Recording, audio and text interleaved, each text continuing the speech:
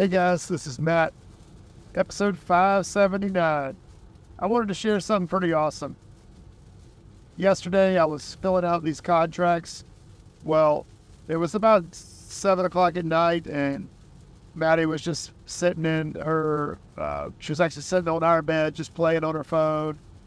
And I thought, you know, what a perfect opportunity for me to teach Maddie how to fill out a contract, uh, how to make an offer on a real estate.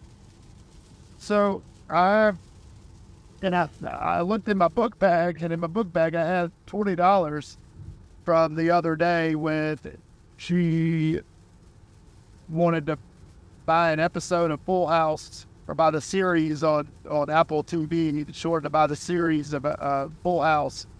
So she gave me twenty bucks of her Christmas Christmas money, and I purchased it for her. Well, I just was sitting on that money in my book bag, and I thought, you know, this is a good lesson. I'm going to pay her for her time and teach her what it's what filling out an offer to buy a property is all about and how to do it. So I went to her and I said, Maddie, I got 20 bucks here. I want you to go sit next to me and actively listen and participate for the next 20 minutes. You sit there for 20 minutes, I'll give you this 20 bucks. And she's like, What are we going to do? I said, Well, I'm going to write up a contract to make an offer on a property. And I want you to learn how to do it. So we went over there and she sat right next to me. And it was really awesome. It was special. I, I wish I would have recorded it, but I, I went through and explained all the major sections about filling out a contract. You know, what does it mean for due diligence? What does it mean for if they have a septic versus a sewer? What does it mean earnest money down? Uh, what does it mean an appraisal and having something to be contingent upon appraisal?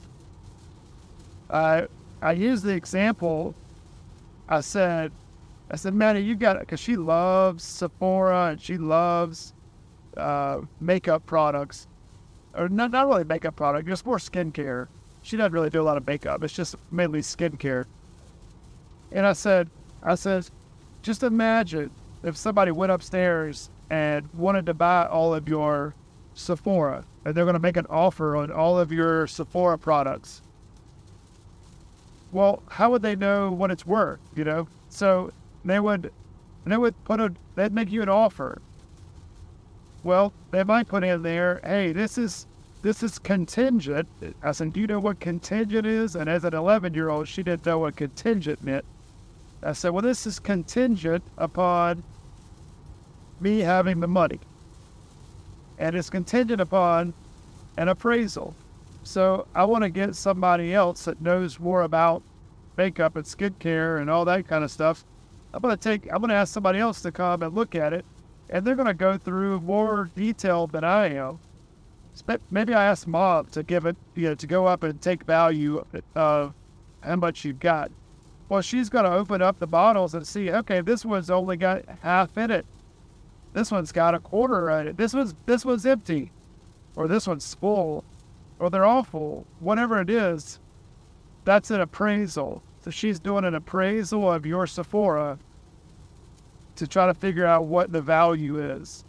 So what if Maddie I said, okay, you've got two thousand dollars worth of skip care products. Well,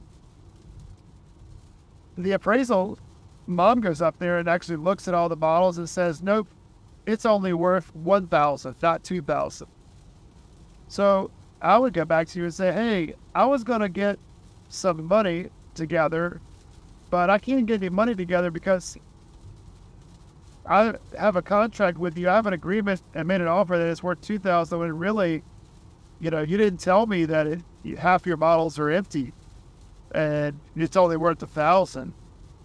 And she really got it. She was like, "Oh, okay, that makes sense." She really understood it. So I, I love that you know being able to dumb it down and put it on her level. I mean, I don't want to say dumb it down. She's not dumb by any means, but put it on her level so that she got it. And I said, yeah, these houses sometimes people don't tell the truth and they'll lie about something, say that it's worth more than it is when, you know, we hire a contractor to go out and look at it and find problems and come back and say, oh, you got to be careful about this, got to be careful about that. And then we can renegotiate for a better price. So we went through the entire contract and she was like, wow, this is this thing's boring. I said, well, it's, I said, this is fun. You know, you, you get to do this before you want to purchase a property. Uh, and so that was really cool. She got to, uh, she got to see all the different components of a contract and the offer and what all is involved. So I thought that was pretty neat. I'm going to title this something to the effect of, you know, teaching children about real estate offers and how to make an offer. Hope you have a great day. And remember, as Baba always says, make your contribution. Thanks.